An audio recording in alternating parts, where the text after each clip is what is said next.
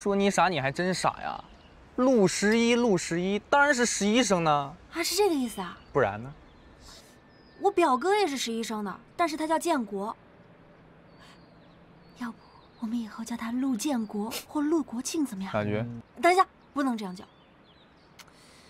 十一竖着写就是个土字，要不以后我们叫他大土吧？怎么样？这个可以。小菊，你脚是不是不疼了？啊！你要是再轮骚，我给你种在这儿，你信不信？不说了，不说了。小菊，你这样说真的很过分。就是。我说的对吧，大头？